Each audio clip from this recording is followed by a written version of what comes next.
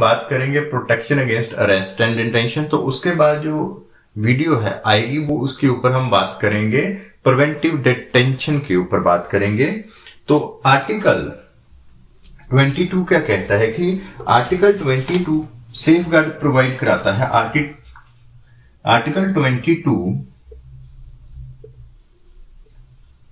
clause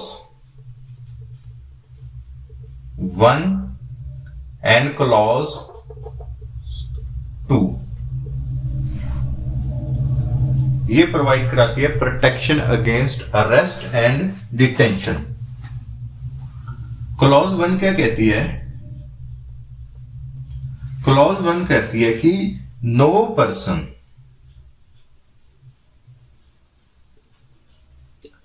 who is arrested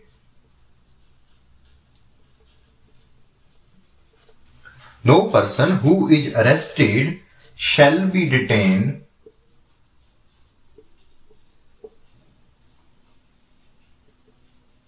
Detained. In custody. Without being informed.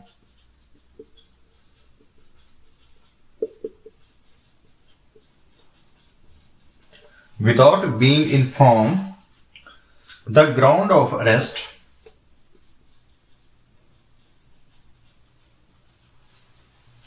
ground of arrest clause क्या कहती है कि कोई भी पर्सन को आप अरेस्ट नहीं कर सकते कस्टडी में without informing the ground of arrest उसको किस ग्राउंड के ऊपर अरेस्ट किया जा रहा है? ये उसको ग्राउंड उसको बताना, जो अक्यूज जिसको अलेस्ड अक्यूज है, जिसको अरेस्ट किया जा रहा है, उसको ये ग्राउंड इन्फॉर्म करना वेल इन्फॉर्म करना बिफोर अरेस्ट ये मैंडेटरी है। तो उसके बाद क्या आता है? एंड अरेस्ट के बाद उसको क्या देना है? His right to consult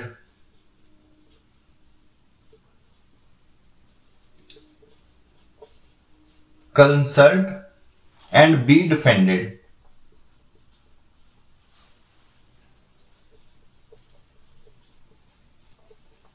of leader of his choice legal practitioner जो वर्ड यूज़ किया गया है legal practitioner of his choice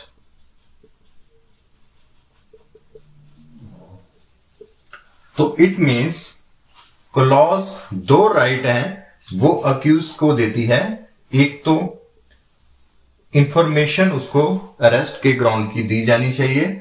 second है, उसके पास अपना जो प्लीडर है लीगल प्रैक्शनर है एडवोकेट है, उसको उसके साथ कंसल्ट करने की और अपनी मर्ज़ी से अपना एडवोकेट के साथ कंसल्ट करने की और उसके थ्रू अपना केस ट्रायल या अपने आप को डिफेंड करने का राइट है, वो क्लॉज हमें प्रोवाइड कराती है।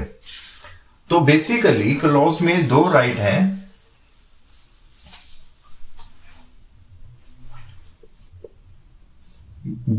Be inform of ground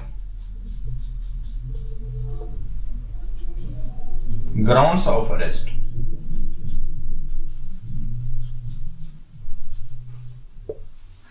Second क्या है? Consult be defended by legal practitioners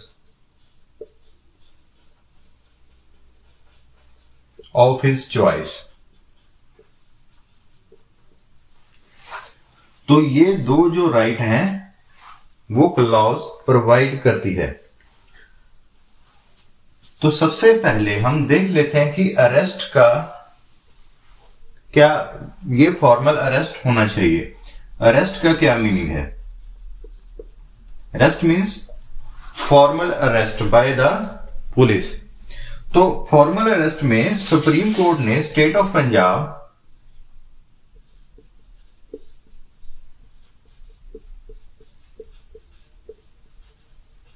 versus Ajaib Singh supreme court का ये केस है तो सुप्रीम कोर्ट का ये केस रिपोर्ट हुआ था A I R 1953 page number 10 पे, सुप्रीम कोर्ट लॉज इस केस में जो अरेस्ट के जो प्रिंसिपल थे या टेस्ट था, वो लेट डाउन किया था सुप्रीम कोर्ट ने। सुप्रीम कोर्ट ने क्या लेट डाउन किया था? अरेस्ट दो तरीके से हो सकती है। अंडर वारंट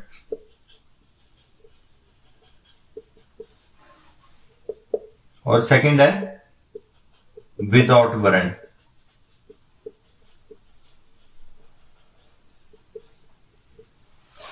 अंडर अरेस्ट कैसे होगी?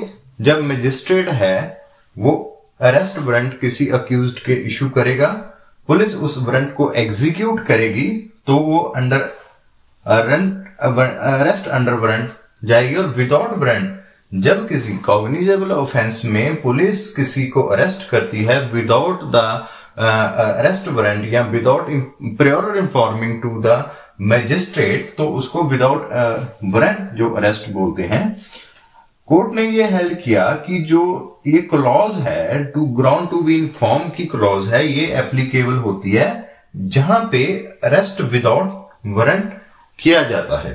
तो वहाँ पे ये एप्लीकेबल होती है। अंडर वारंट में या क्यों नहीं होती? क्योंकि यहाँ पे जुडिशियल माइंड है, वो ऑलरेडी अप्लाई किया गया है। और जो भी इसमें वारंट में ग्राउंड लिखे गए हैं, उसके रीजंस लिखे गए हैं, वो रीजन जब उसको अरेस्ट करने की को जाते हैं तो वो रीजन जब उसको वारंट शो किए जाते हैं तो वो रीजन उस वारंट में लिखे होते हैं तो वो ग्राउंड है, वो खुद ब खुद बी इन्फॉर्म की, कि वह उसकी अरेस्ट से एक्चुअली पहले उसको इन्फॉर्म कर दिए गए थे। विदाउट वारंट में ये मिसिंग होता है। तो जो एग्जीक्यूटिव या नॉन जुडिशियल एक्शन को ये एप्लीकेबल होती है क्लास तो state of Punjab versus Ajaib Singh ने ये हेल्प किया था कि दो कैटेगरी हैं arrest under warrant arrest without warrant तो ये एप्लीकेबल होती है विदाउट वारंट में, क्यों? क्योंकि वहाँ पे एक एग्जीक्यूटिव या जुडिशियली माइंड अप्लाई नहीं किया गया। तो ये उसमें होती है। जैसे कि अगर हम आगे बात करेंगे तो एग्ज़ाम्पल के तौर पे हम ले सकते हैं कि जो सीपीसी का है order thirty eight rule one arrest before judgment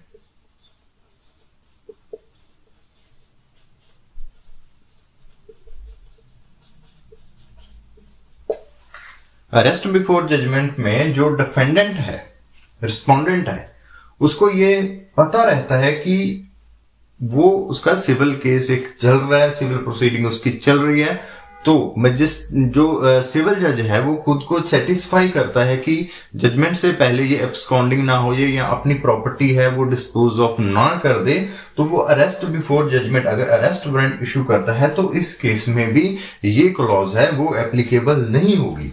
क्योंकि इसमें ऑलरेडी उसकी नॉलेज में ग्राउंड दिए गए हैं। तो कोर्ट ने ये हेल्प किया कि ये जो ऑर्डर है. ये जो क्लॉज है, ये आर्बिट्रेरी जो अरेस्ट करती हैं एग्जीक्यूटिव या नॉन जुडिशियली बॉडी है, उनको ये, उनकी, जो मेयर उनकी पावर को मिस यूज़ ना हो, उसके लिए ये क्लॉज एप्लीकेबल होती है. तो अब जो सेकंड क्वेश्चन आता है pleader of his choice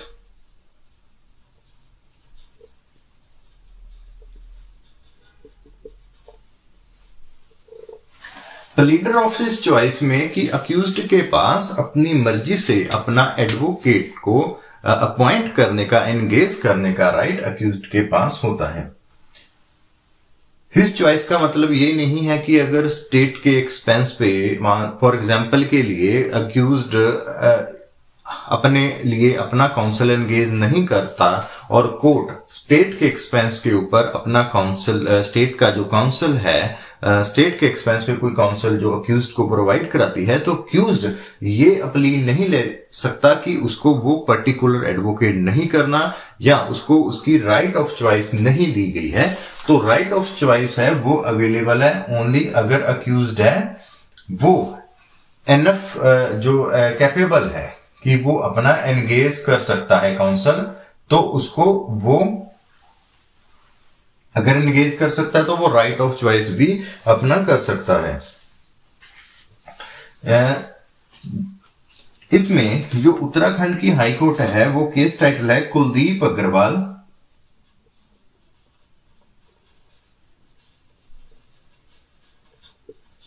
Kuldeep Agarwal versus state of Uttarakhand.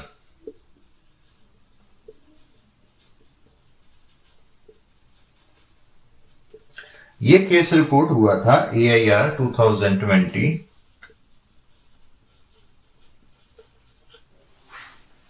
page number one पे।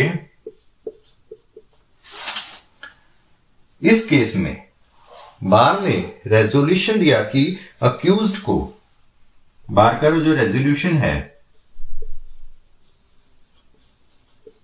कि अक्यूज्ड को कोई भी बार मेंबर रिप्रेजेंटेड नहीं करेगा कोर्ट में ट्रायल में तो वो जो रेजोल्यूशन है, वो इटसेल्फ इसके राइट की वायलेशन करता है राइट ऑफ़ हिज चॉइस या राइट जो उसका आता है कि वह अपने प्लीडर के द्वारा लीगल प्रैक्टिस के द्वारा उसके पास अपने आप को डिफेंड करने का राइट है तो वो इस राइट की वायलेशन करता है। इन सभी अथॉरिटी की जो साइटेशन है डिटेल है, वो आपको वीडियो के डिस्क्रिप्शन लिंक में मिल जाएगी। तो उसके बाद जो अथॉरिटी की हम बात करते हैं, वो है सुप्रीम कोर्ट की अथॉरिटी है A S Mohammad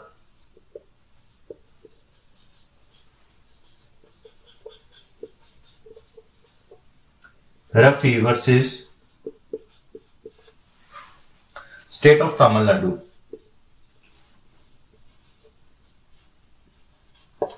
ये रिपोर्ट हुई थी ए आई आर 2011 में सुप्रीम कोर्ट पेज नंबर है 308 इस अथॉरिटी ने सुप्रीम कोर्ट ने बार के जो रेजोल्यूशन है, जो पहले कुलदीप अग्रवाल का केस था, उसी तरह बार ने रेजोल्यूशन डाला कि अक्यूज को कोई भी बार मेंबर एडवोकेट है, वो रिप्रेजेंट नहीं करेगा तो सुप्रीम कोर्ट ने यह हेल्ड किया कि ऐसा रेजोल्यूशन नल एंड वाइड है, और जो कि अक्यूज का जो राइट उसको कॉन्स्टिट्यूशनल राइट दिया गया है, उसके खिलाफ है, उसको ये, उसके खिलाफ है, और ये राइट है इन्फ्रिंग करता है, उसके राइट ऑफ़ लीडर को, उसको डिफेंड किया जाना चाहिए, ऐसा रेजोल्यूशन बार नहीं दे सकती। अब हम बात करते हैं क्लॉज टू की।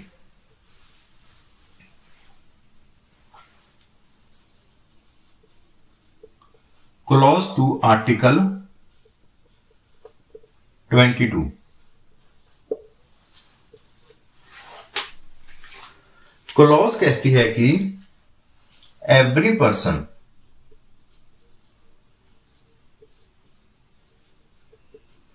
who is arrested और detained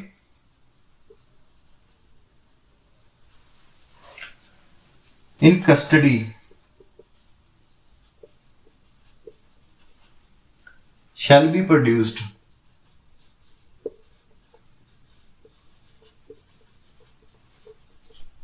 Before the nearest magistrate.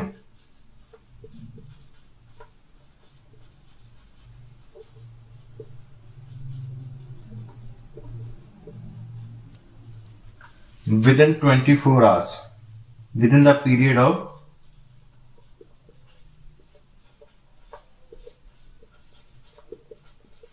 within the period of 24 hours.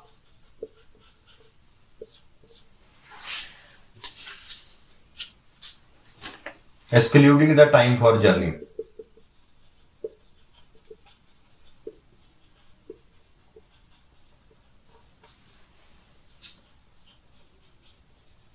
ये टाइम एक्सक्लूड कर के जहाँ से उसको अरेस्ट किया गया है, उसको नियरेस्ट मजिस्ट्रेट के पास पेश करना है, उसको वहाँ पे उसका प्रोड्यूस करना है within the period of twenty four hour ये अक्यूज का जो राइट है, उसका प्रोटेक्शन है, जो टाइम जर्नी में लगेगा 1.2 सेकेंड पॉइंट जो पॉइंट जर्नी में लगेगा, उसको एक्सक्लूड करके उसको देना है।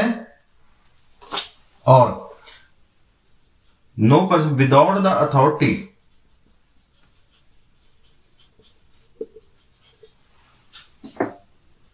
no custody, जिसको हम कह सकते हैं। तो इट मीन्स ये जो क्लॉज टू है, ये दो राइट की बात करती है। एक तो राइट है कि उसको मजिस्ट्रेट के सामने पेश करना है, और वो मजिस्ट्रेट के सामने विदाउट उसकी अथॉरिटी उसको उसको ऑथोराइज किए बिना, उसकी फर्दर है, वो कस्टडी नहीं ली जा सकती। अगर उसको पुलिस प्रोड्यूस करती है मजिस्ट्रेट के सामने या तो उसकी पुलिस रिमांड की एप्लीकेशन लगाएगी या फिर उसके जुडिशियल रिमांड की एप्लीकेशन लगाएगी। तो ये जो आ, बात की विदन राइट क्या है? Within twenty four hours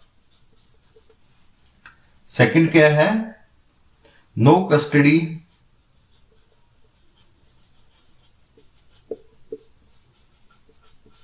without authorisation authority from magistrate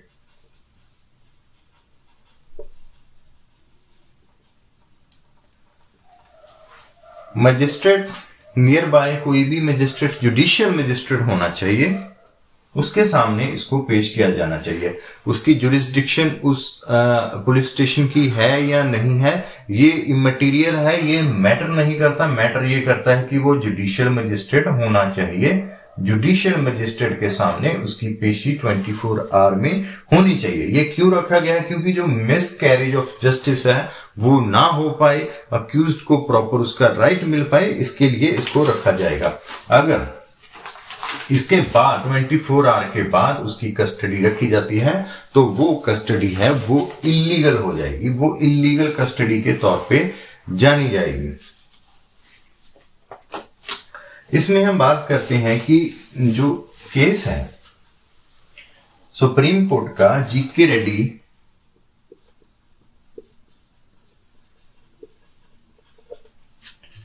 versus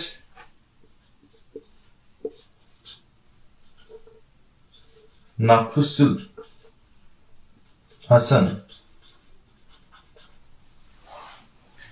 and state of UP.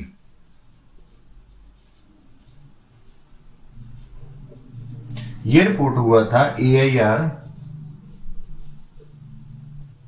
1954 supreme court page number six three six पे ये केस रिपोर्ट हुआ था जी के रेडी इस केस में सुप्रीम कोर्ट ने पटिशन डाली गई थी आर्टिकल 32 के अंदर, जिसमें श्री मिस्त्री जो नाम का जो अक्यूज था, उसको अरेस्ट किया गया बट उसको मजिस्ट्रेट के सामने पेश नहीं किया गया। फॉर uh, जैसे उसको अरेस्ट किया गया था बॉम्बे से। इलेवंथ मार्च 1952 को बॉम्बे से अरेस्ट किया गया। 1952 को बॉम्बे से अरेस्ट किया गया और उसको कहीं भी प्रोड्यूस नहीं किया गया। उसको जो लेजिस्लेटिव असेंबली का स्पीकर है यूपी लेजिस्लेटिव असेंबली का स्पीकर उसको अरेस्ट क्यों किया गया था? प्रिविलेजेस जो ब्रीच के केस में उसको लोकसभा के स्पीकर के आगे सॉरी लोकसभा असेंबली के स्पीकर के आगे जो था उसको प्रोड्यूस किया गया लखनऊ में।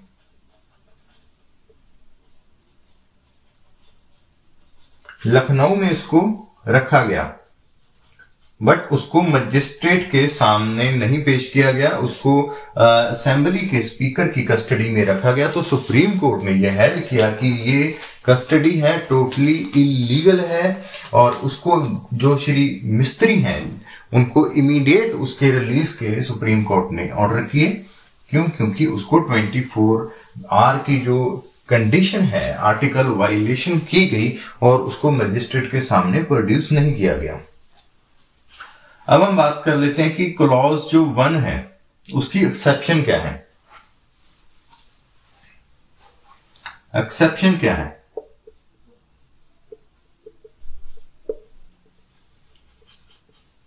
Clause one and clause two की क्या एक्सेप्शन है?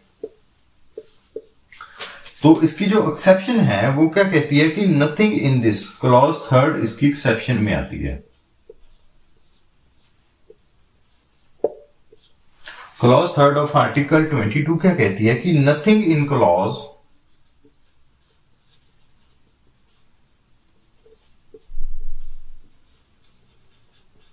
nothing in clause one and clause two of article 22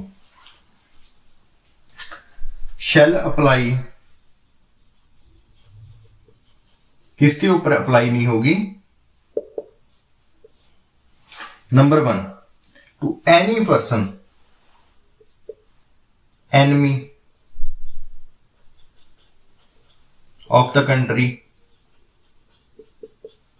इसके ऊपर ये क्लॉज एप्लीकेबल नहीं होगी।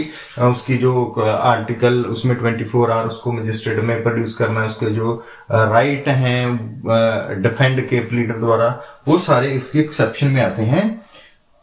और जो सेकंड एक्सेप्शन है, जिसके ऊपर हम सेकंड वीडियो बनाएँगे, वो है कि जो प्रिवेंटिव लॉस के अंडर प्रिवेंटिव लॉस अरेस्ट किए गए हैं। प्रिवेंटिव लॉ के अंदर जो लोग अरेस्ट किए गए हैं, उनके ऊपर उसको ये एक्सेप्शन के तौर पे देखा जाएगा। तो ये हमारा था जो कि हम बात कर रहे थे कि एक्सेप्शन क्या है? एनमी ऑफ़ द कंट्री और प्रिवेंटिव लॉ के अंदर।